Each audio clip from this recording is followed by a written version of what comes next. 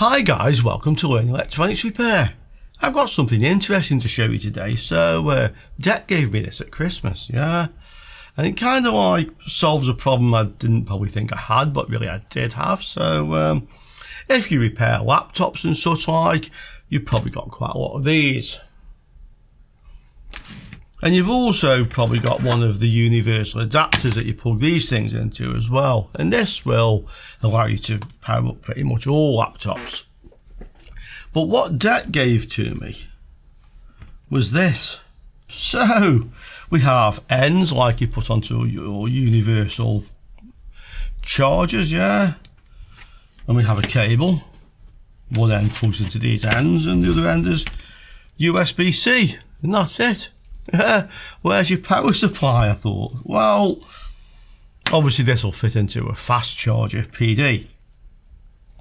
So I said, hey, thanks, Det. That's uh, handy. Don't have to have the big adapter thing, but the laptops run on 20 volts, 19 volts, yeah. And he said, oh, they've thought of that. So in here is a little PD decoy. So when you plug this into a fast charger, ta-da, and these things are becoming almost ubiquitous now. I mean, considering that in the EU, the USB-C directive comes into force in 2024. So by the end of 2024, all electronic devices that are rechargeable sold in the EU must have a USB-C connector, nothing else, yeah. This is to stop e-waste with all these different sorts of power supplies. Of course, it won't for a long time because there's lots and lots of old legacy devices around, but I suppose gradually that will happen. And these chargers, you can get these quite readily in quite high power versions. This one, for example, is uh, up to 20 volts at 5 amps. So this will give 100 watts, which is suitable for most laptops, unless we're talking gaming laptops, but then you can get these which are even higher powered than this. And because they're becoming kind of ubiquitous, they're also becoming quite inexpensive just on the reason of mass production. So our little uh, cable, which is just, just a cable, yeah, nothing other than cable it would appear, plugs into our charger, yeah. And if we get our voltmeter, yeah, on volts, and we have a look at the end of our connector here. What do we have?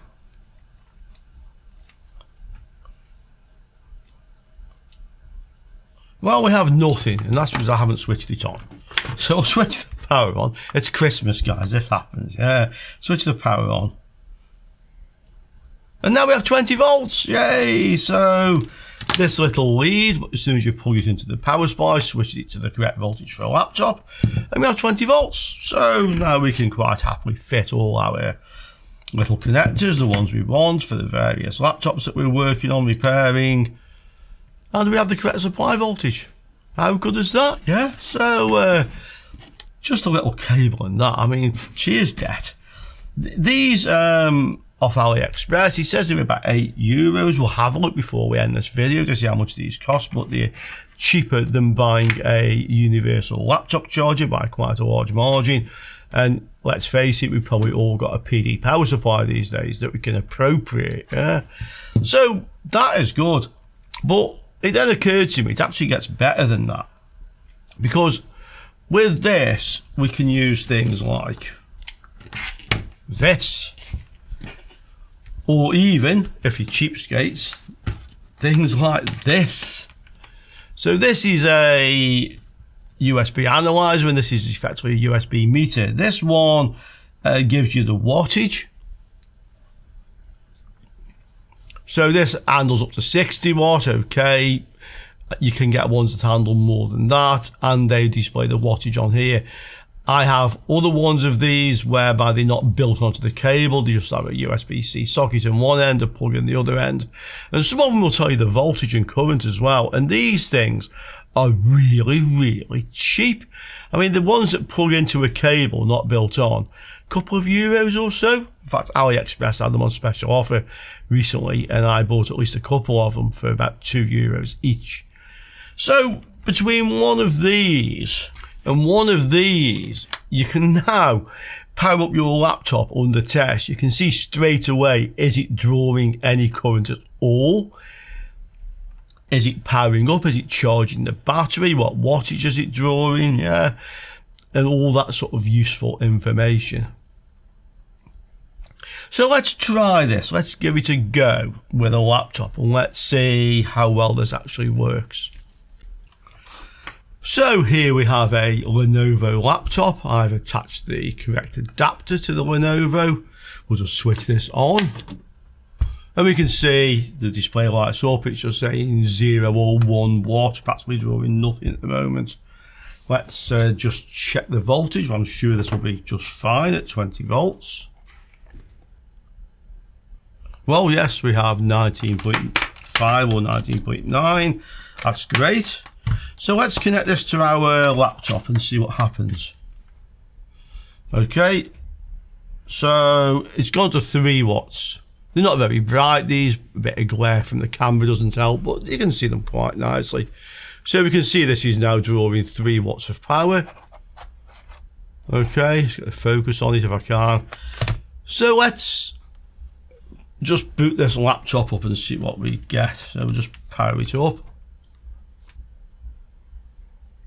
Yeah, 10 watts.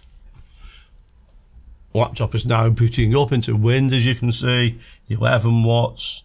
So that's giving us a nice indication of what's going on with this laptop.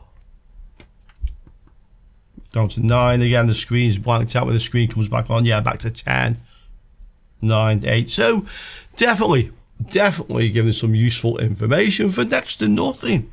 Yeah, we don't need a universal supply really. We just need a PD supply, which are universal, obviously these days. Okay, so that's using the little uh, adapter. We'll look at these on AliExpress in a moment, but let's have another little play with this using my USB analyzer as well. Okay, so here is the USB analyzer giving a very similar reading, 7 or 8 watts. It shows us the current as well on this one. So again, very handy. Now, of course, I think the thing a lot of you are asking the question, so before you get into the comments below, let's try this. What if we connect this to a laptop that has a short? Yeah, we can have a laptop with a short circuit, so there's effectively a short on the 19 volts input. So let's try it and let's see if this system works fine with the short and if it does then I'm quite happy to use this when I'm repairing laptops. Okay so this is quite simple to simulate so we have a short circuit load here. So if we connect this to our little lead okay and we switch the power supply on I'm expecting it just not to power up I don't think anything too spectacular will happen, but uh, uh, who knows? Let's see. Well, nothing happened. Okay, so nothing happened. That's what I expected. So we'll take the short back off again. Let's power this up again. Yeah, it's powering up, so it didn't hurt it in any way. It's on 20 volts. Let's now do something really nasty to it. Okay. You ready for this, guys? What happens? Well, it goes off. And it stays off. Oh no, it comes back on again. So the power supply just resets itself and comes back on when the short's gone away. So, yeah, that works really, really well. I have to say I'm very impressed with that. Let's have a look to see how much these things cost. Det did tell me, so I'm not being naughty here with a Christmas gift, okay? But let's have a look. So here is the little meter, very similar to the one that I was using, but this one is 240 watt. They're on special offer at the moment, 99 cents. So guys, grab one of these, yeah. Very useful things. There's also these type I did mention, which also show you the voltage, the current, and these are again on special offer at the moment. I mean, three euros seventy-eight uh, a couple euros of shipping. So that's about six euros. How much shipping was on that first one? Oh, that was free. Okay, but personally, for the extra few euros, I think I'd actually go for this one. But guys, it's whatever you like, okay? Then we have the adapter cable. So this is the one that, thank you, Det, for Christmas, is now on my bench, okay? Yeah, he said it was about 10, 11 euros, free shipping. So that's that one. Now this one has a male USB. This has the effectively the little um, decoy on that causes it to go to 20 volts. That's male. So you may have trouble attaching this to your little one of these. Yeah, maybe, maybe not, depending on what you have. So if you like, there's another version here. So this does the same thing. It's a lot cheaper. Yeah, with the postage, you know, it's about the same, about 10 euros. This has a female connector again with the decoy, so it will set it to 20 volts for you.